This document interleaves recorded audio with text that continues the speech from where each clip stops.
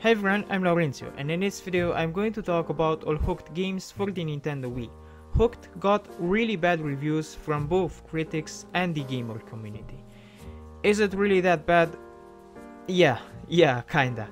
But it's still playable. You control the hook with the Wiimote and the nunchuck, you can throw the bait in three different ways. There are some lakes you can fish in, and some lures, but the content you get is still limited. The music indeed is annoying, but I can't really judge as I don't like the music in any fishing game anyway. But that didn't hinder me to enjoy those good fishing games. And anyway, the music is annoying. Overall, it's a game that you get easily bored by. It doesn't have enough content and the one you get is poorly executed that you will play something else in no time.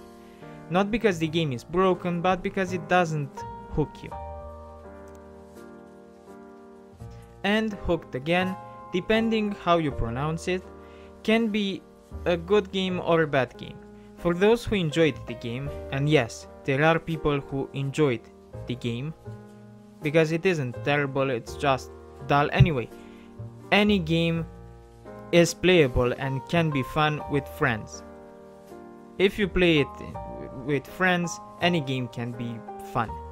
Anyway, the second hooked game is improved. You get more lakes and more fish, the controls have been improved, they don't feel unresponsive anymore, just clumsy.